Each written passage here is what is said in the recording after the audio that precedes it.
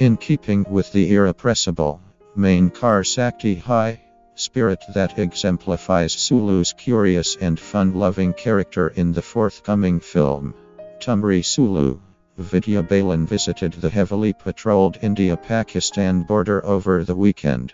The effervescent actress, who was in Gujarat to promote her film, drove 150 km from Ba through the parched earth of the Rann of Kutch to the desolate Vighakot outpost of the Border Security Force, BSF.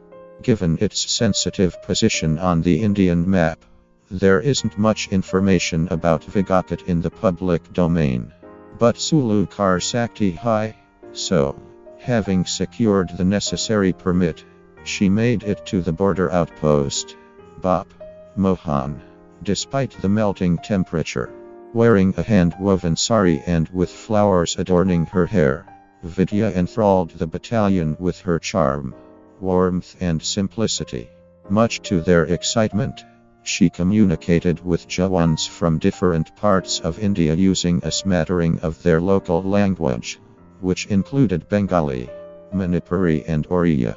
One of the lady Jawans even rendered a patriotic anthem, leaving Sulu teary eyed.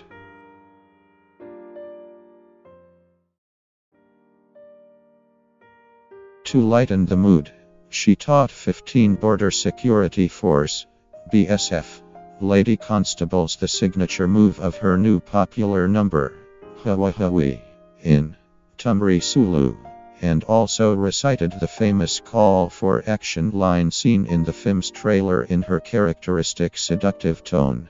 The Jawans, who, by now, were in no mood to let their endearing Sulu leave, insisted on her staying back for some more time while they rustled up handmade sandwiches pulao and paneer for lunch finally.